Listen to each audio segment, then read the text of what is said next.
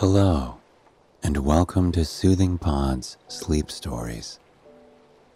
My name is Arif, and tonight I will be your guide as we fall asleep to the soothing, sun kissed tale of a couple in love over a blissful summer weekend. But before we begin, let us take a moment to relax and find comfort in the space that we are in. Close your eyes and allow yourself to sink into your mattress. There is nothing you have to do in this moment. No obligations, no tasks, no expectations. You can just simply be. For a moment, picture yourself on a beach. Truly imagine it. Is it a tropical beach with turquoise waters that stretch to the horizon? Are there palm trees swaying above you in the gentle ocean breeze? Or perhaps you're on a beach nestled in a rocky cove in New England.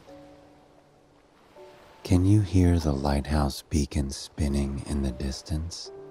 Can you hear the sound of the waves lapping against the shore as the water floats in, then drifts back, floats in, then drifts back, floats in, then drifts back? You are the one crafting your beach, so it can be whatever you desire. You can have a cool drink in hand. You can be curled up, soaking in the sun on a warm, fluffy blanket. You can have your toes in the sand as the ocean rises to meet you. You can be moments away from sleep with the sound of seagulls and the crashing waves filling the air around you, bringing you total peace. As you grow closer and closer to sleep, turn your attention to your breath. When you inhale, try to imagine that ocean wave coming in, brushing against the shore and the bottom of your feet. As you hold your breath, feel the waves splash across you. And as you exhale, picture that wave going back out to sea, only to return to you a few moments later.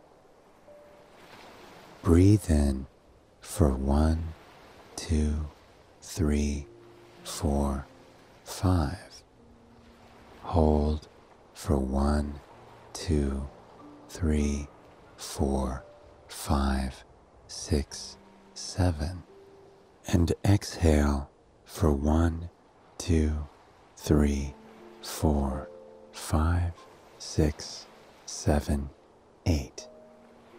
Breathe in for one, two, three, four, five. Hold for one, two, three, four, five, six, seven. And exhale for one, two, three, four, five, six, seven, eight. Notice the wave floating towards you. Feel the wave over your feet, watching the foam and bubbles, and picture that wave floating back to sea, glistening in the sun as it recedes. Notice the wave floating towards you. Feel the wave over your feet, watching the foam and bubbles and picture that wave floating back to sea, glistening in the sun as it recedes. Continue to breathe comfortably like this until you fall asleep. Know that at any time you can return to your own personal beach and find comfort in the waves of your imagination. Now that we have taken the time to relax and find comfort in the space that we are in, let us begin. Summer seemed to wash over the Isle of Hope slowly at first, and then abruptly each year. In spring, the flowers and the earth would shrug off the last bit of winter and embrace the new sunshine and warmth. For weeks, there would be promises of spring and summer just on the horizon. It would start with the trees. By the time April came around, green tinged buds would start to sprout from the trees. It would be one tree at a time, subtle, almost unnoticeable if you weren't looking for it. Then May would roll around. The soft grass would shift from a dull brown to a vibrant, deep green that blanketed the mountains and hills and yards of the small island community. The trees would bloom and flourish in a wave of green and yellow that seemed to pass over the town overnight. And then summer seemed to be upon them. The entire town would glow in the light of thousands of wildflowers that peppered the hillsides and descended from the trees overhead. Wisteria knew it was summer the minute she opened her cottage window.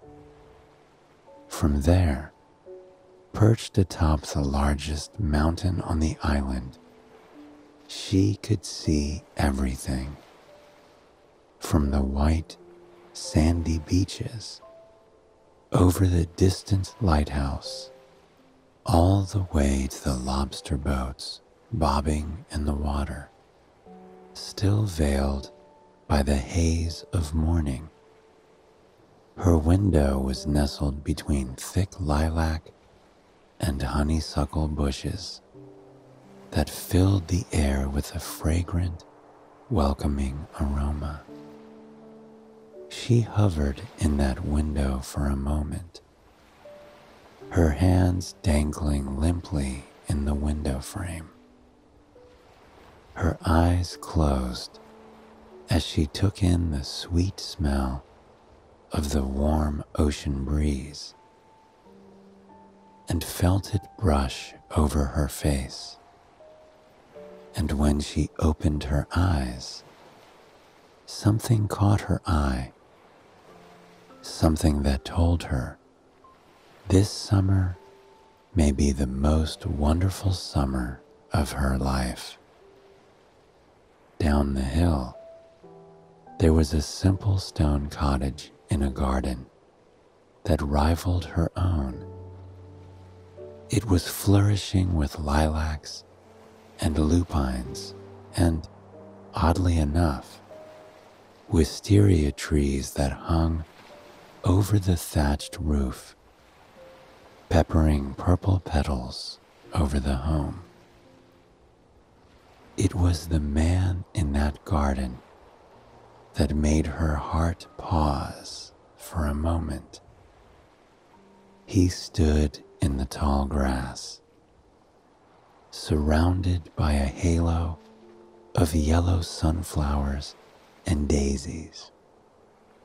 One of his hands was coiled around a paintbrush, and the other was gently placed on his easel, which was set up perfectly in the light of rising sun.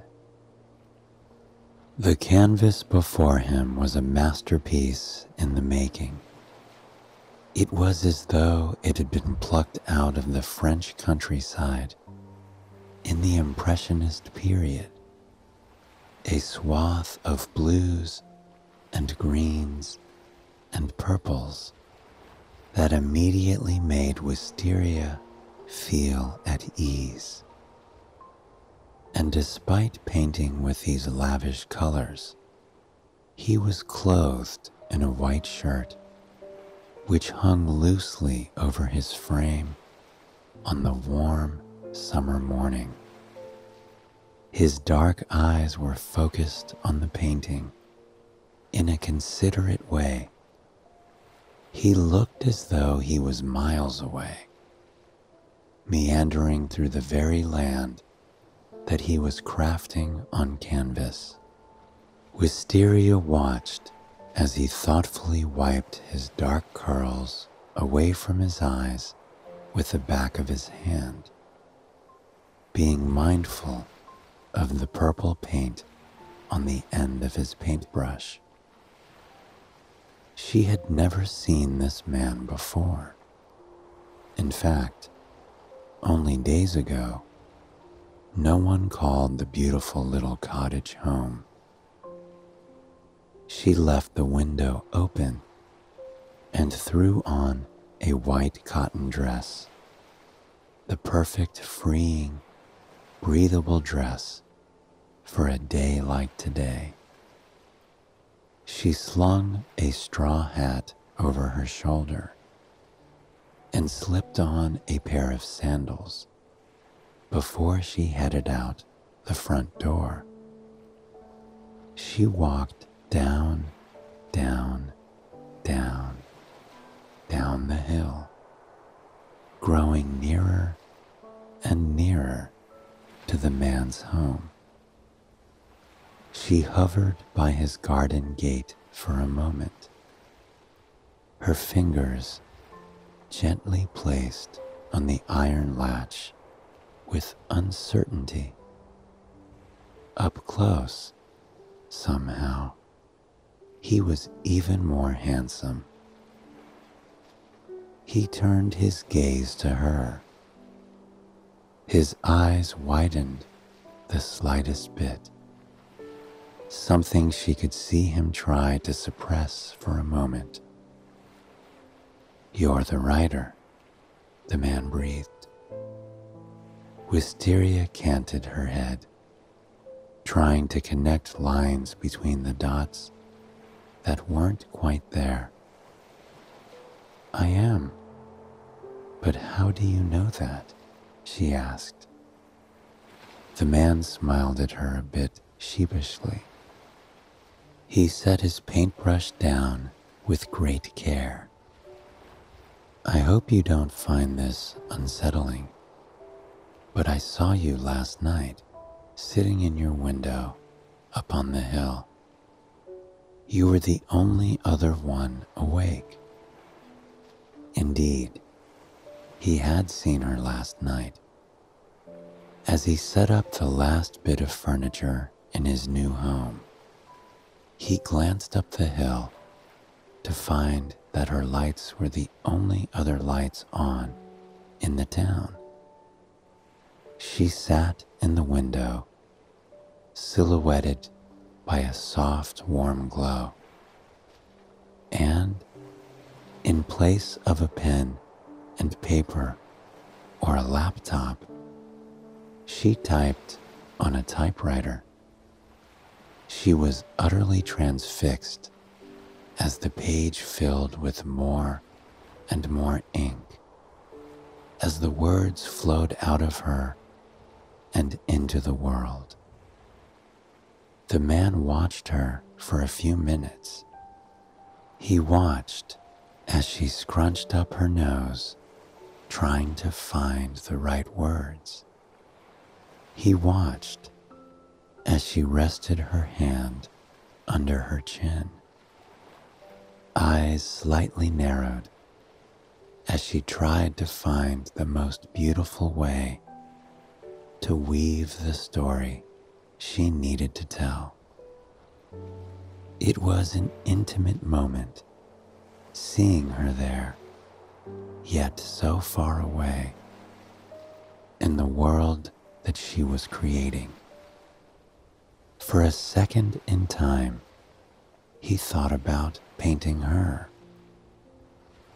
about drawing the contours of her face, the introspective gleam in her eye, the way her hand rested softly on her cheek, and at times, the way she ran it up over her face and through her hair when an idea wasn't flowing as much as she would like it to. Yet, he brushed that thought away.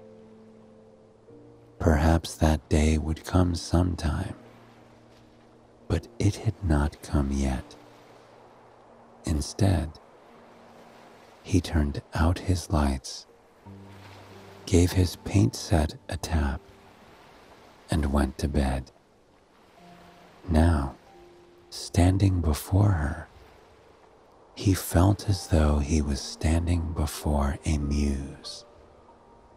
He was worried that he would offend her but she simply smiled at him. I'm the writer and you're the painter, she replied. She extended her hand, introducing herself as Wisteria. The man couldn't help but glimpse at the wisterias that were hanging just overhead. My name is Atlas, he said back. And from that moment on, Atlas and Wisteria knew that their lives were going to be intertwined. At that point in time, they had no idea of how long that would truly be. But soon, over the course of a day, while enjoying the splendor of summer, they would get a hint about how interconnected their lives would be. They sat in the garden for quite some time, just getting to know one another. Atlas was a painter that had lived in the city. He longed to move to a place where he could paint and enjoy everything nature had to offer without being distracted by the hustle and bustle of the city. He longed to have a yard and fresh air and quiet places where inspiration could be found. Wisteria, on the other hand, had a totally different experience. She was born and raised on the island. Her mother was a lobster woman, and her father was a man from the mainland. She grew up exploring every inch of the island. She had slept in the meadows of wildflowers swam on the beaches, dived into the ocean from the rocky cliffs. It was a charmed childhood, yet a lonely one. She had turned to books and stories for comfort. Most days, she could be found lying in the grass somewhere with her nose in a book, relishing every word. When her classmates moved to the mainland for jobs and better opportunities, she stayed on the island, in her childhood home and got to work writing. And yet, even with their completely different upbringings, their stories made them feel more connected. Atlas, too, had felt like an outsider. He had hoped the island would feel like home, yet he had no idea how to make that happen. Wisteria gave him a smile. It's the first day of summer, she chimed. That makes the island home for everyone.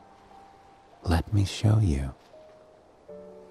Atlas set down the tea he had been drinking and abandoned his painting for the day. Wisteria took him gently by the hand. At first, he was hesitant. There were still boxes to unpack, the painting to finish, things to get done. But they didn't need to be done right now. Life had handed him a perfect day, a perfect opportunity, and the perfect person to experience the island in all its glory. He followed Wisteria with a smile, but to his surprise, rather than to lead him down toward the town, she led him up the hill. There's a better way than walking to experience this town, she told him with a wink. When they arrived at her house, Wisteria pulled a bike out of the garage. It was an antique bike with large, rounded handlebars and a wicker basket fixed to the front. Atlas couldn't help but smile at the sight. Wisteria patted the handlebars with a smile. Atlas hadn't ridden on a bike with someone else since he was a small child. The idea of doing it again filled him with a kind of joy he didn't know he could still feel. He climbed up on the handlebars as Wisteria grabbed on and put her feet on the pedals. Then, slowly, they began to roll down the cobblestone street. There was a loss of gravity, a sense of freedom and wonder that washed over him in a serene wave as the tires started to glide faster and faster down the hill. He could hear the click, click, click, click, click, click, click, click of the wheel as it rolled over the cobblestones. He heard the whoosh of the air washing over his body and his hair. As they glided down the hill, he found himself giggling. The adorable island passed by them in a colorful blur. Small details popped out that made him feel more and more connected to his new home.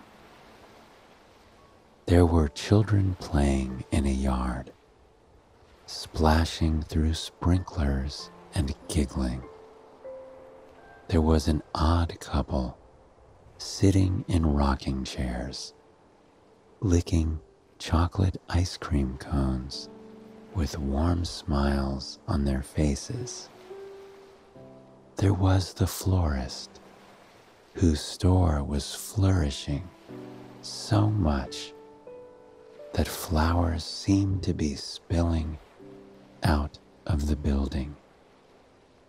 It was a spread of every summer flower you could imagine sunflowers and daisies and lilacs that poured onto the streets in a stunning display of color. There were people walking down the sidewalks, beach balls, umbrellas, and towels in hand. Straw hats flopped over their faces. Sunscreen glistened on their noses and the rosy cheeks of the children. As they passed by on the bike, every person they rode by waved in delight. Atlas waved back, careful to quickly plop his hand back on the handlebars after he said his polite and enthusiastic hello. The street they were riding on was narrow. As there were no cars, they were free to swerve and glide wherever they wanted. On every turn, Wisteria would gently tap his shoulder, urging him to lean with her toward the turn. It was a rhythm they found with each other, something that brought them a sense of teamwork at the very beginning of their journey. At one point, Atlas closed his eyes. He felt utterly weightless, charmed by the surreal experience he found himself having. When he opened his eyes again, he was surprised to find that they were flying toward a low hanging flowering tree. He closed his eyes again, bracing for the leaves to hit his face. The flowers collided with his skin and scattered into the air like fireworks. Wisteria began to laugh so hard that the bike swayed left and right with her laughter. Atlas began to laugh alongside her, grabbing the handlebars to keep himself in place. Finally, they reached the bottom of the street right alongside the ocean. Atlas hopped off the bike, then helped Wisteria off. Her cheeks were tinged pink from the happiness of the bike ride, from the feeling of the wind rushing over her skin, from the laughter they had shared she asked Atlas if he had had breakfast yet, and he told her he had not. Once more, she took him by the hand and led him into a cozy little cafe that overlooked the ocean. It was a hole in the wall place, peppered with tiny, intricately molded iron tables and walls that were lined with paperback books. It smelled of freshly baked bread and French pressed coffee, but also something surprising. Something he never expected to smell in a cafe. It smelled strongly of fresh strawberries. Wisteria spoke with the owners as if they were old friends. The owner introduced himself to Atlas and welcomed him to town before handing him a wicker basket and saying, For your first breakfast here on the house. Wisteria led Atlas outside to the small garden behind the cafe. It reminded him of the secret garden. There were stone tiles surrounded by plush moss. A garden was teeming with vibrant flowers and bees happily buzzing from flower to flower. Summer was in full swing, comfortably encapsulated in this tiny cafe garden, which they had all to themselves. Atlas was surprised by what was in the basket. There were pastries dusted with powdered sugar and filled with fresh strawberry puree. There was fresh fruit, mangoes, and passion fruit, and pineapple, all cut up into summer shapes and placed in a colorful container. Then there was the most surprising thing of all a small glass sundae cup filled to the brim with blush pink ice cream. Mixed into the smooth homemade ice cream were chunks of freshly picked strawberries and black specks of vanilla bean. It was only then that he noticed the strawberry bush beside him, which was overflowing with ripe, heavy strawberries. Wisteria insisted that they had to eat the ice cream first. It was the shopkeeper's special, a recipe that had been handed down for generations and generations. When Atlas took his first bite, he could hardly believe what he was tasting. It was the creamiest, sweetest, most satisfying bite of ice cream he had ever had. It melted against his tongue and cooled his body instantly in the summer sun, which was rising higher and higher by the moment. It was perfection. He picked up the next spoonful and offered it to Wisteria. She gave him a soft smile as he fed it to her. He could feel his heart skip a beat in his chest. This was something he could certainly grow accustomed to. For about an hour, they sat in that garden, sharing ice cream and pastries. Every bite was sweeter than the last and their smiles seemed to grow over time.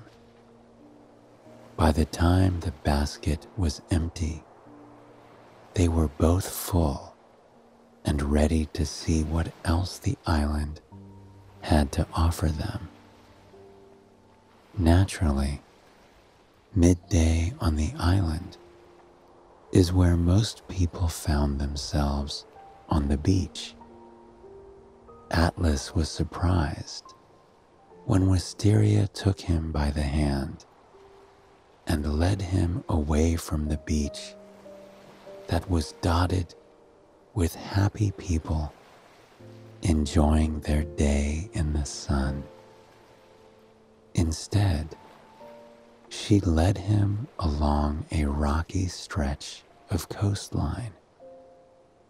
Rocks crunched beneath their feet with every step that they took. He was unsure why they were going in such a strange direction. That is, until they crested over the rocks and he saw the private sandy cove below. There wasn't a single soul on it. The beach was perfectly tucked between two towering rocky peaks, hiding it from view and turning it into a serene, hidden gem. They walked along the untouched sand, relishing the feeling of the sun on their skin. Wisteria dipped her toes in the waves and cast Atlas a smile that made his heart melt. It was as if they were in a world of their own.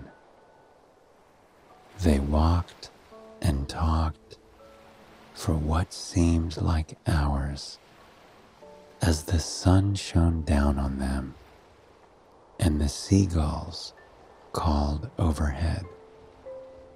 On more than one occasion, Wisteria bent down to show him a tidal pool full of fascinating ocean creatures, starfish that clung to the rocks, crabs that scuttled in between the rocks or tucked themselves away behind slivers of seaweed. By the time they were done on the beach, Atlas was surprised by how drowsy he was. Once again, Wisteria convinced him to hop on the bike.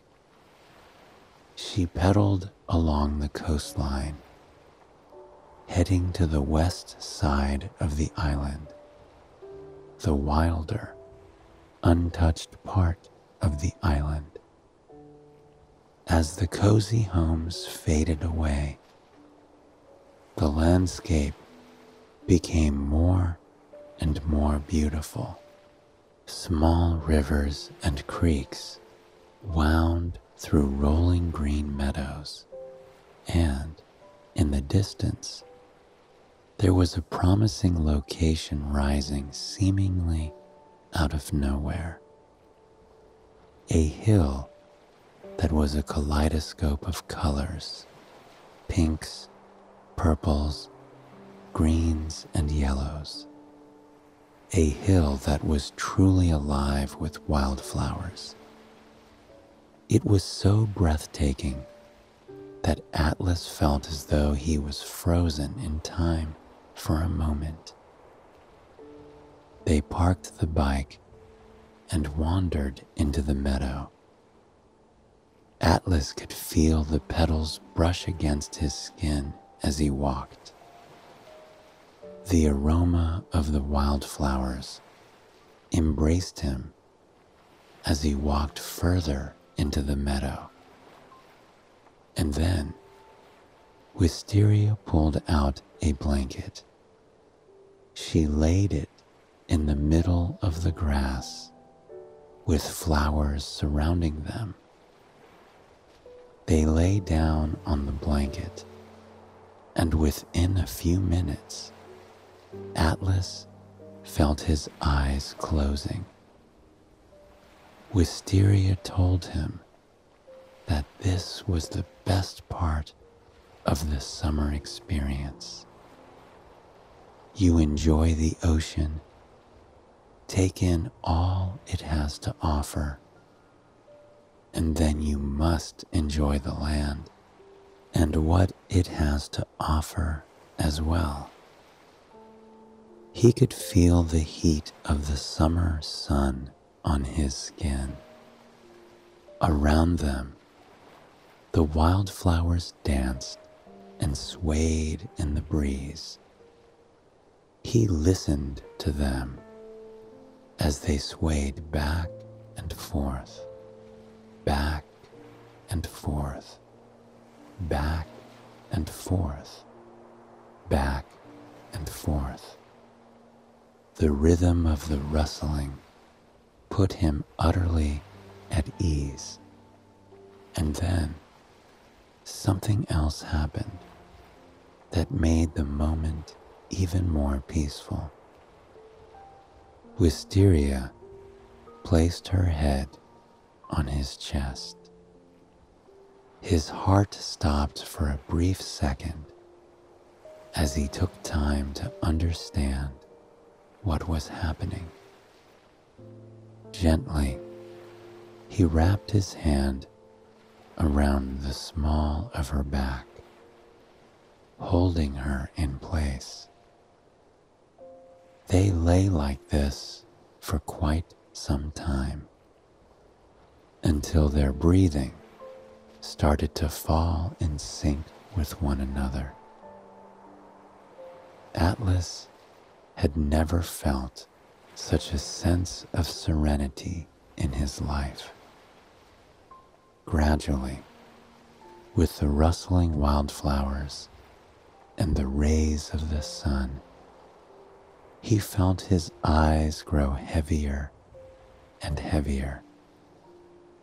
For the next hour, he was utterly calm. When he awakened, it wasn't with a start or as if he was in a dream.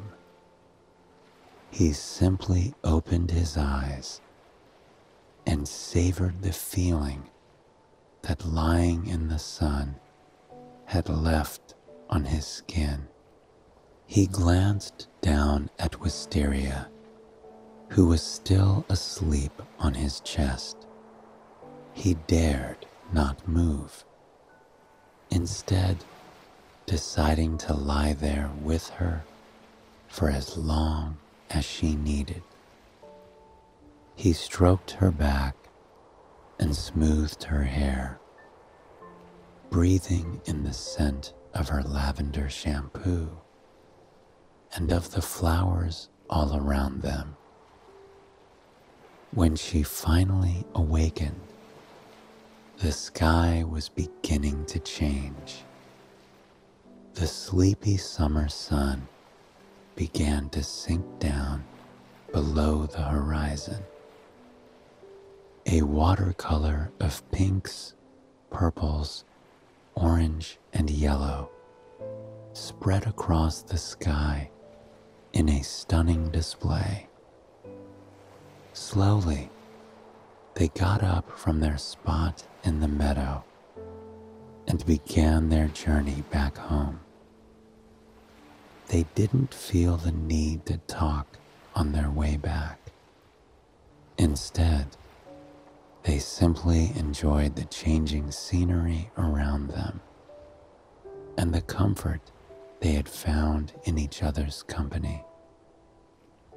With every step of the way, the sunset seemed to shift and grow even more brilliant. By the time they reached the house, mere slivers of orange and red streaked the sky as it gradually turned to night.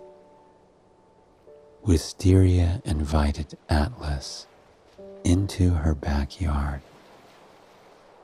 There was one final summer moment he had to experience before he went home. In the center of her stunning backyard was a campfire Atlas helped her prep the tinder and make the perfect start. And just as the last bit of the sunset disappeared below the horizon, just as the stars began to push through the inky black sky and show themselves, the fire started.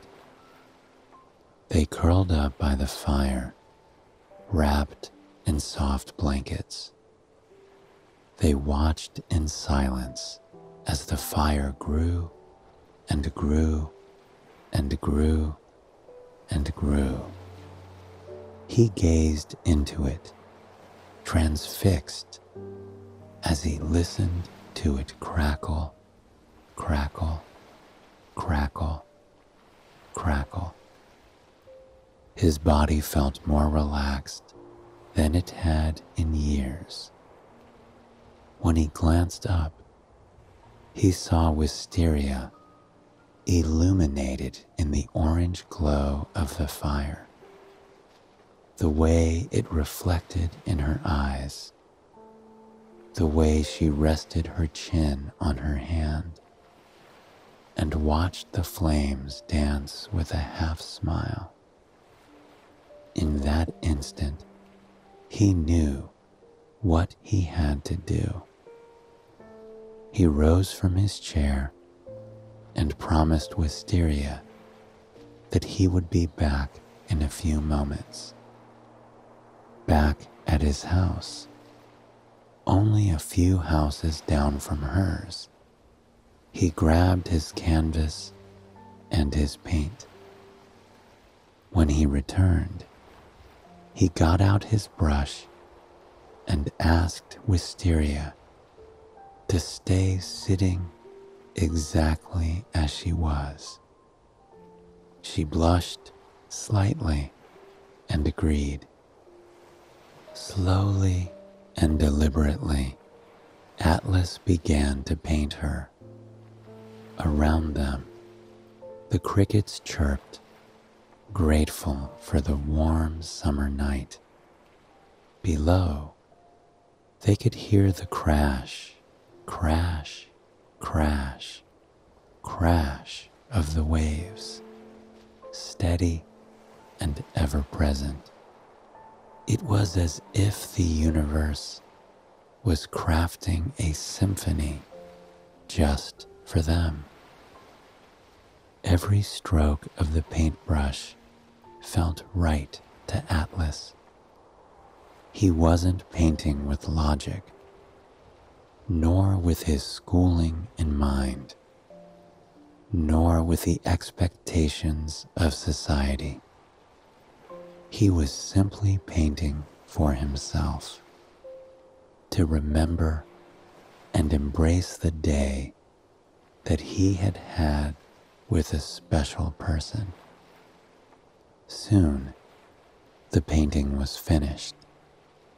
His hands and his white shirt were peppered with paint, but he didn't mind.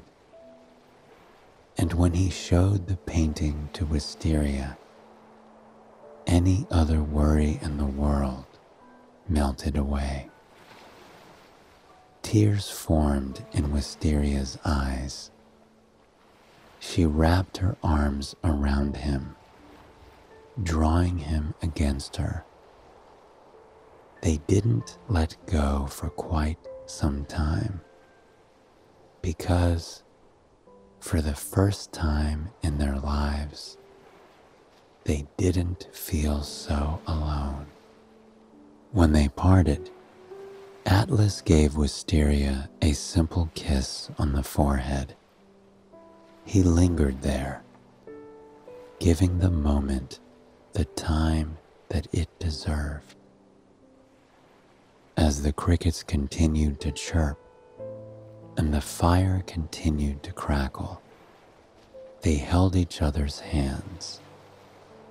It was only the first day of summer, and ahead of them they had an entire summer full of memories to make. I hope you've enjoyed this sleep story and it has helped you reach a night of peaceful, relaxing sleep. Please join me again tomorrow for another sleep story. Until then, sweet dreams.